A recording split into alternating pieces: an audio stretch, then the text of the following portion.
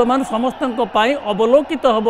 ସମସ୍ତେ ଦେଖିବେ ଏହି ପର୍ବଟି ଯାହାକୁ ଇନ୍ଦ୍ରଦୁମ୍ନ ଦେବ ଦିନେ ହଠାତ୍ ମନ ଦୁଃଖରେ କହିଥିଲେ ମହାପ୍ରଭୁଏ କ'ଣ ହେଲା?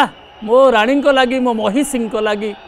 ଆପଣ ମୋତେ ଦେଖେଇଲେ ଆପଣଙ୍କର ଅପୂର୍ଣ୍ଣ ରୂପ ପ୍ରଭୁ ସେତେବେଳେ ମହାପ୍ରଭୁ କହିଲେ ବ୍ୟସ୍ତ ହେବାର ନାହିଁ ବତ୍ସ ମୁଁ ଆସିବି ମୁଁ ଆସିବି ଗୋଟାଏ ବେଶରେ ଆସିବି।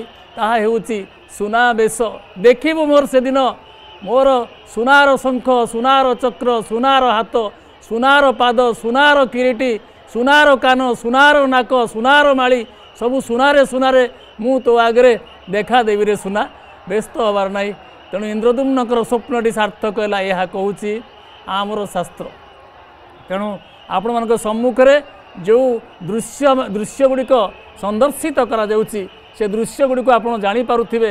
ଶ୍ରୀ ପୟର ମହାପ୍ରଭୁଙ୍କର ସବୁ ଶ୍ରୀ ଲକ୍ଷ୍ମୀ ଛଡ଼ା ହେଇଯାଇଛି ବୋଲିକିରି ଆମେ କହିବା ନାହିଁ ଜଗନ୍ନାଥଙ୍କୁ କାରଣ ଲକ୍ଷ୍ମୀ ତାଙ୍କର ଦେହରେ ଅଛନ୍ତି। ଯାଇଥିଲେ ରାଇ ବିନୋଦିନୀଙ୍କ ପାଖକୁ। କୁହାଯାଏ ଯେ ରାଇ ବିନୋଦିନୀ ମଧ୍ୟ ହେଉଛନ୍ତି ମା ଲକ୍ଷ୍ମୀଙ୍କର ମଧ୍ୟ ଗୋଟିଏ ସ୍ୱରୂପ। ଆହା ମା କାମ୍ପିଲ୍ୟବାସିନୀ ଯୋଗମାୟା ବର୍ତ୍ତମାନ ଦେଖାଦେଲେ ନାକେରେ ଝୁମ୍ପା ନାକ ଚଣା କି ସୁନ୍ଦର କିରୀଟ।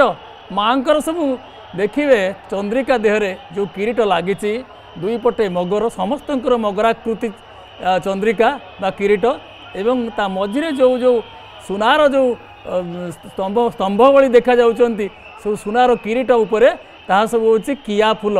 ତେଣୁ କିଆ କେତକୀର ସମ୍ଭାର ଆଜି ହେଇଛି କିରୀଟରେ। ମହାପ୍ରଭୁଙ୍କର ଜଗନ୍ନାଥଙ୍କର ଶ୍ରୀ ଜଗନ୍ନାଥଙ୍କର ବା ଆମ ସାଆନ୍ତଙ୍କର ଯେଉଁ କିରୀଟଟି ଅଛି ସେଥିରେ କେତକୀ ରହୁଛି ବଳଭଦ୍ରଙ୍କର ଯେଉଁ କିରୀଟଟି ଅଛି ସେଥିରେ ସ୍ତମ୍ଭାକୃତିରେ ରହୁଛି କିଆ ଏବଂ କେତକୀ ଏବଂ ମାଙ୍କ ପାଖରେ କିଆ ଫୁଲ ରହିଛି। ତେଣୁ ଏ କିଆ କେତକୀର ସମ୍ଭାର ଏ ବଡ଼ଦାଣ୍ଡ ଆଜି ଯେଉଁ ଦକ୍ଷିଣାଭିମୁଖୀ ରଥ ବା ଚନ୍ଦନମାନେ ଦଣ୍ଡାୟମାନ ହେଇଛନ୍ତି ଏ ସବୁ ଏ ଚନ୍ଦନ ଯେଉଁ ବଡ଼ଦାଣ୍ଡରେ ଠିଆ ହେଇଛନ୍ତି ରଥ ଖଳାରେ ତାହା ପ୍ରକୃତରେ ଗୋଟିଏ ବଗିଚା କେଉଁ ବଗିଚା ନା କିଆ କେତକୀର ବଗିଚା। ଏବଂ ଏଠି ଠିଆ ଠିଆ ଲୀଳା କରୁଛନ୍ତି ରାସ କରୁଛନ୍ତି ରାସ ହେଇଥିଲା କେଉଁଠି ନା ଗୋପଦାଣ୍ଡରେ କିନ୍ତୁ ଏଠି ଠିଆ ଠିଆ ରାସ କରୁଛନ୍ତି। ଭକ୍ତ ବିନୋଦ ଅର୍ଥ ହେଉଛି ରାସ। ରସ ଯେତେବେଳେ ପ୍ଲାବନ ପ୍ଲାବନ ପ୍ଲାବନ ହେଇଯାଏ ରସ ଯେତେବେଳେ ପ୍ରବାହିତ ହେଇଯାଏ ସେତେବେଳେ ତାକୁ କୁହାଯାଏ ରାସ ରସ ଓ ବୈଶ। ଆମ ଶାସ୍ତ୍ରରେ କୁହାଯାଇଛି ରସ ଓ ବୈଶ। ତେଣୁ ଯେଉଁ ରସ ଯେଉଁ ଆନନ୍ଦର ମନ୍ଦାକିନୀ ଧାରା ଆହ୍ଲାଦିନୀ ମା ଯୋଗ ମାୟା ମଧ୍ୟ ଦେବୀ ପରତ୍ପର ଭଗବତୀ ମା ପ୍ରକୃତି ରୂପିଣୀ ମା ଯୋଗ ମାୟା ବର୍ତ୍ତମାନ ଟିକେ କଣେଇ ଚାହୁଁଛନ୍ତି।